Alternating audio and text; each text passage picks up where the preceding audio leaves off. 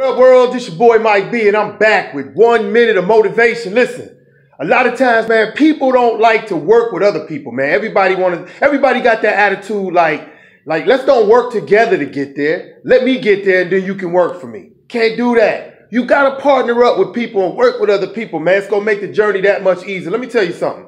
The skill that you got, whatever it is that you can do, let's call that a diving board and the world, the people, everybody who you want to, to, to, to acknowledge you, let's call that the water. That's the pool. So you go out, you jump on your diving board, you dive into the water trying to make a splash.